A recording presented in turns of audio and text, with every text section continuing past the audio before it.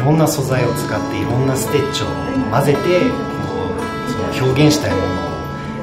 のを制限なしに表現するっていうのがやっぱり醍醐味というか海外にも進出して、まあ、こういう自分独自の作品を作って、まあ、いろんな人に見てほしいです。